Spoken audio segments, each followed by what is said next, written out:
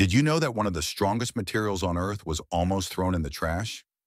In 1965, chemist Stephanie Kwolek was working at DuPont when she created a cloudy, thin solution that looked completely worthless. Her colleagues told her to dump it immediately. The mixture appeared weak and unusable. But something made her ignore protocol entirely. Against all advice, she decided to spin the strange liquid anyway. The results were shocking. The material was five times stronger than steel by weight. When they tested it further, they discovered something incredible. It could stop bullets. This accidental discovery became Kevlar, and it revolutionized everything. Bulletproof vests made from her near-discarded mistake have saved over 3,000 police officers' lives. Today, Kevlar protects spacecraft from debris, reinforces suspension bridges, and shields military vehicles worldwide. All because one scientist trusted her instincts over conventional wisdom.